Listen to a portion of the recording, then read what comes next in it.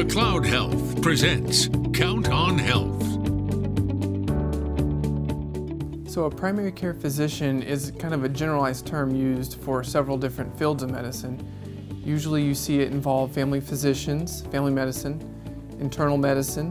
Um, you do see it spread even to pediatrics and OBGYN. Internal medicine is trained a little bit differently from a family medicine doctor. Internal medicine is a three-year residency that focuses mostly on adults and overall multiple organs of focus for care. So this would include specialties that you see GI doctors, cardiologists, um, pulmonologists all go through internal medicine prior to becoming those specialists. A lot of times you will see them cover most of the ins and outs of day-to-day -day care, which includes diabetes, hypertension, cholesterol. They mostly focus on an older population. They do focus some on pediatrics, but it's usually, if they do focus on pediatrics, it's along the lines of children that are a little bit older, probably above the ages of 15.